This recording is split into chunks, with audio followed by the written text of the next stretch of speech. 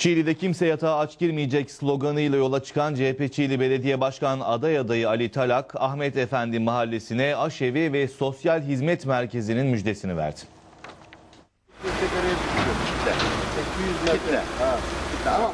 CHP'li Talak ilçemizde sosyal belediyecilik anlayışıyla ihtiyaç sahibi vatandaşlara ulaşmaya çalışacağız. Çiğli'nin ekonomik yapısı göz önüne alınarak çok amaçlı ve afet durumlarında da kullanılabilecek aşevi projesi yapacağız. İhtiyaç sahiplerinin adreslerinin tespit edilmesiyle evlerine günlük yemek dağıtımı sağlanacağı gibi ihtiyaç sahibi istediğinde de aşevinden yararlanabilecek.